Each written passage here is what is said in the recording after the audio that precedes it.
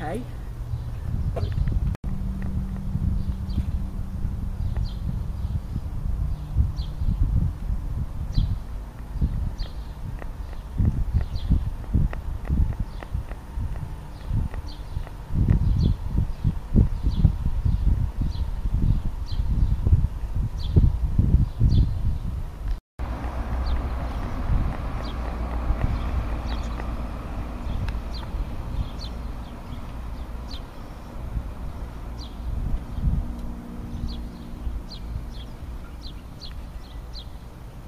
They've probably all been stripped out anyway, there's probably no seats for